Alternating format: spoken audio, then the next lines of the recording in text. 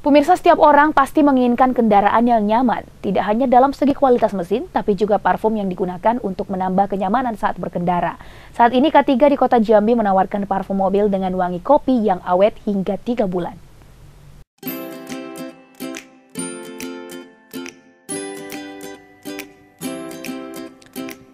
Setiap orang pasti menginginkan kendaraan yang nyaman, tidak hanya dalam segi kualitas mesin, tapi juga parfum yang digunakan untuk menambah kenyamanan saat berkendara. Saat ini K3 menawarkan parfum mobil dengan wangi kopi yang awet hingga 3 bulan.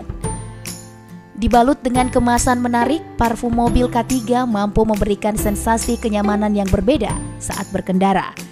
Dengan wangi kopi segar yang dapat Anda pilih. Selain itu, parfum K3 ini juga dapat digunakan untuk pengharum ruangan tidak hanya wangi yang mewah, K3 parfum juga awet dipakai. Satu kemasan parfum K3 dapat Anda nikmati wangi kopinya dalam waktu hingga 3 bulan. Untuk pemasaran parfum kopi K3 tidak hanya di kota Jambi, tapi juga telah meluas ke berbagai provinsi seperti Sumatera Selatan dan Riau. Dengan wangi mewah dan tahan lama, parfum K3 dibanderol dengan harga yang sangat terjangkau, yakni mulai dari 30 hingga 50 ribu rupiah.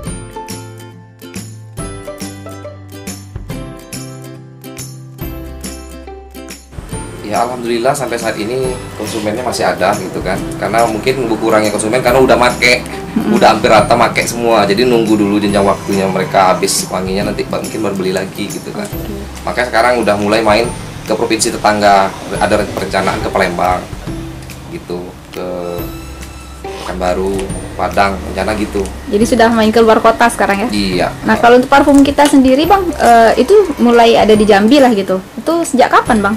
Kalau parfum ketiga nih bisa dibilang baru lebih duluan. Parfum ada parfum sebelumnya kami produksi juga kan.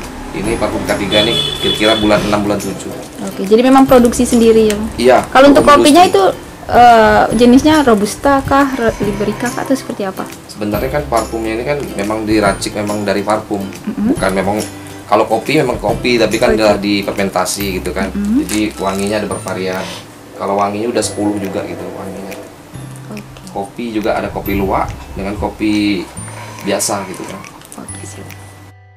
Ria Agustin, Cek TV melaporkan.